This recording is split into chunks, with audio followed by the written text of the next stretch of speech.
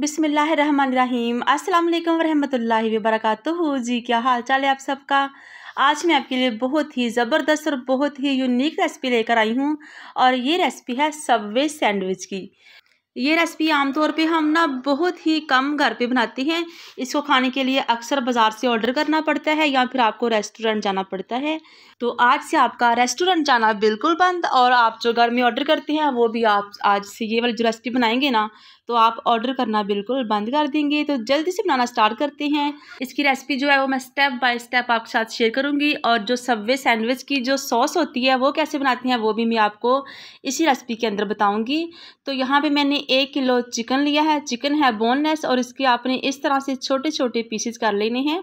छोटे छोटे पीस करके ना जिस तरह से भी आपको पसंद है, आप उस हिसाब से कर सकती हैं। तो अभी इसके अंदर हम डालेंगे अदरक और लहसुन का पेस्ट और साथ में डालेंगे लीमू का रस।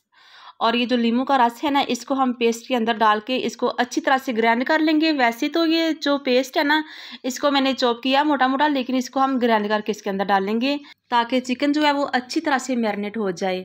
तो यहाँ पे इसके अंदर ये वाले स्पाइसेस डालेंगे ये है गरम मसाला पाउडर खुश्क धनिया पाउडर और साथ में कुटी हुई लाल मिर्चें हैं, नमक हंसपे है। और इसके अंदर हम डालेंगे ये सॉसेज हैं। सिरका हो गया चिली सॉस हो गई और सोया सॉस हो गई। तो अभी हम ये जो चिकन है ना, इसको डालेंगे इस खुले बर्तन में। और इसको बर्तन के अंदर डाल के तमाम चीज़ें इसके अंदर डालेंगे और इसको अच्छी तरह से मैरिनेट कर लेंगे। सबसे पहले मैं ये जो जूस है ना, लेमन का जूस है, इसको अदरक लहसुन के पेस्ट के अंदर डाल के ना, इसको अच्छी तरह से मैंने ना ग्राइंड कर लिया है और ये देखिए बिल्कुल मैश हो चुका है। तो अभी हम इसको डालते हैं चिकन के अंदर। आप इस तरह से ग्राइंड करके डालेंगे ना तो आपका चिकन बहुत ही ज़बरदस्त मैरिनेट होगा। और जो मसाला है ना, अदरक लहसुन का जो पेस्ट है, वो बिल्कुल साथ अच्छी तरह से यकजान हो जाएगा। तो अभी इसके अंदर सारे मसाले डाल के तो इसके अंदर हम डालेंगे थोड़ा सा सोया सॉस और सिरका डाल के, और अभी हम इसके अंदर डालेंगे दही। और दही को डाल के, सारे मसाले डाल के इसको अच्छी तरह से मैरिनेट कर लेंगे ताकि जो आपका चिकन है ना, इसके अंदर तक जो मसाला ना, वो अच्छी तरह से मैरिनेट हो जाए, मिक्स हो जाए। तो इसको रखते हैं आधे घंटे के लिए। तो यहाँ पे हम एक फ्राई पैन लेंगे, इसके अंदर हम थोड़ा सा ऑयल लगा के ना, इस तरह से थोड़ा सा ऑयल लगा के इसको गर्म करेंगे और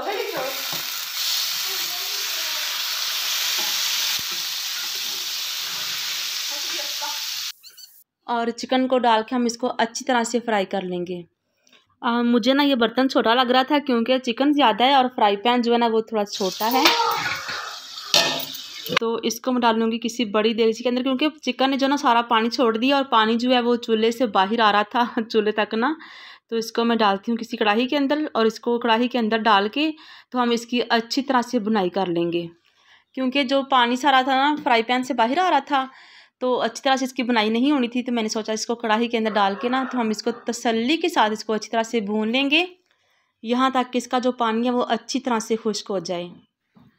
इसके अंदर आपने पानी बिल्कुल भी नहीं डालना है, ये अपने ही पानी के अंदर अच्छी तरह से पक जाएगा।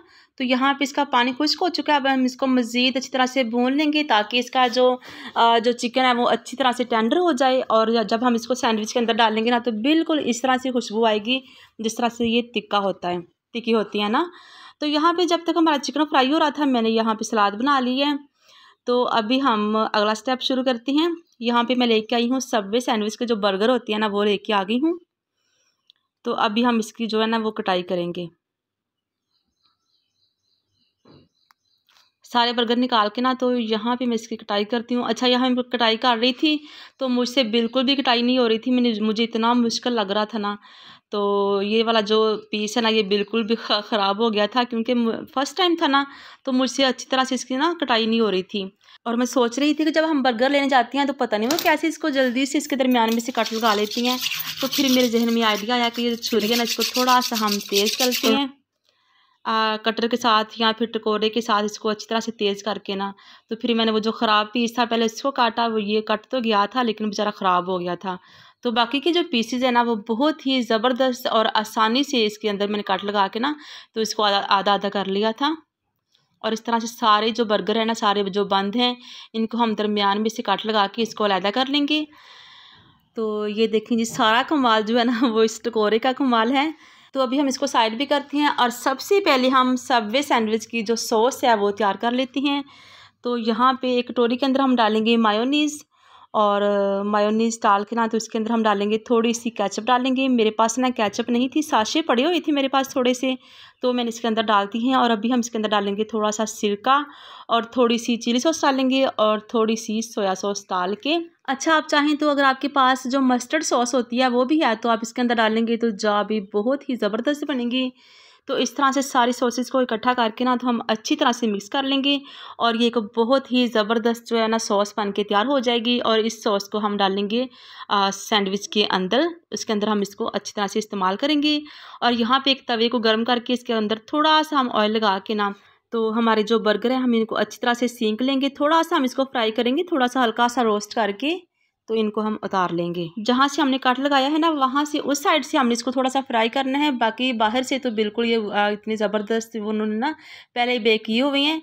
यहाँ पे हम ना थोड़ा सा इसको हम हल्का सा गर्म करेंगे कि थोड़ा सा ये रोस्ट हो जाए।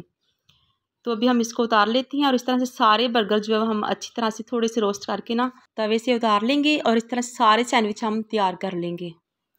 तो अभी सारे बर्गर जो है रोस्ट हो चुके हैं। तो अभी हम इनको नीचे उतार लेते हैं तवे से और यहाँ पे हमने जो अपनी सॉस तैयार की थी ना, उस सॉस को हम डाल लेंगे बर्गर के ऊपर लगाएँगे अच्छी तरह से। दोनों साइड पे अच्छी तरह से स्प्रेड करके तो इसके ऊपर लगाएँगे सलाद पत्ता और साथ में थोड़ी सी खीरे हैं और टमाटर हैं, जो भी सलाद आपको पसंद है ना, वो आप इसके ऊपर लगा सकती हैं। और इसके ऊपर डालेंगे फ्राई किया हुआ चिकन। चिकन बहुत ही ज़बरदस्त फ्राई हुआ है, बिल्कुल इस तरह से जिस तरह हम टिक्का बनाते हैं बिल्कुल वही फ्लेवर आ रहा था। और दोबारा से बर्गर लेंगे, इसके ऊपर अच्छी तरह से जो सॉस है, उसको स्प्रेड करेंगे और इसके ऊपर रखेंगे खीरा और टमाटर और चिकन को उसके ऊपर रखेंगे और चिकन के ऊपर भी आप सॉस लगाएँगे और सॉस लगा के तो इसके ऊपर वाला जो बंद होता है ना जिसके ऊपर तिल लगा होता है, वो इसके ऊपर हम रख लेंगे और इस तरह से सारे सैंडविचेस जो है ना, हम ऐसे ही तैयार कर लेंगे। आप अपनी पसंद की कोई भी सलाद ले सकते हैं। अच्छा इसके ऊपर अगर आप प्याज डालेंगे ना, प्याज के स्लाइसिस कुछ डालेंगे तो वो जो सैंडविच है ना, बहुत ही ज़बरदस्त बन जाएगा। मैंने इसलिए नहीं डाला क्योंकि कुछ बच्चों को प्याज पसंद नहीं होता ना तो इसलिए मैंने प्याज इसके अंदर नहीं डाला था। लेकिन अगर आप प्याज डालेंगे तो आपके जो सैंडविच का जो जायका ना बहुत ही ज़बरदस्त बन जाएगा। मैंने अपने सैंडविच के अंदर ना प्याज डाला था तो इतना लाजवाब जायका था इसका, बहुत ही ज़बरदस्त बना था। तो यहाँ पे हमारे सारे जो सब्वे सैंडविच हैं बन के तैयार हो चुके हैं। अलहमदिल्ला इतने ज़बरदस्त और इतने लाजवाब बने थे। सब घर वालों को बहुत ही पसंद आए थे। तो आप भी इस तरह से घर में बना सकते हैं बहुत ही आसानी से और वो भी कम बजट में और वो भी बहुत ज़्यादा मकदार में बना सकते हैं। तो आप जल्दी से बनाएँ और घर वालों को और बच्चों को खुश करें और रेस्टोरेंट को तो बिल्कुल ही भूल जाएँगे। और अगर आप इस तरीके से बनाएँगे तो आपका जो बच्चा ना एक की बजाय दो दो सैंडविच खाएगा, क्योंकि जो बाज़ार के सैंडविच होती हैं, बहुत ही हैवी टाइप होती हैं और बमुश्किल जो है ना वो हम एक खा पाते हैं। लेकिन अगर आप घर में बनाएँगे तो आपके जो बच्चे ना, एक की बजाय दो दो लेना पसंद करेंगे। क्योंकि इसमें ना सारी चीज़ें जो घर की हैं और बिल्कुल फ्रेश फ्रेश चीज़ें इसके अंदर इस्तेमाल हुई हैं। तो इसलिए जहाँ पे आपने एक खाना है, वहाँ पे आप दो खाना पसंद करेंगे। तो उम्मीद है कि आपको आज की रेसिपी अच्छी लगी होगी। अगर अच्छी लगी हो तो आप जल्दी से मेरे चैनल को सब्सक्राइब कर दें और मेरी वीडियो को भी लाइक कर दें और मुझे दुआ में याद रखिएगा। आप सबकी दुआओं की बहुत ज़रूरत है। अल्लाह ताला आप सब पर भी अपना ख़ास फजल करम अता फ़रमाए। आमीन, सुम्मा आमीन। तो फिर मिलते हैं अगली नई और बहुत ही मज़े की वीडियो में। तब तक के लिए अल्लाह हाफिज़।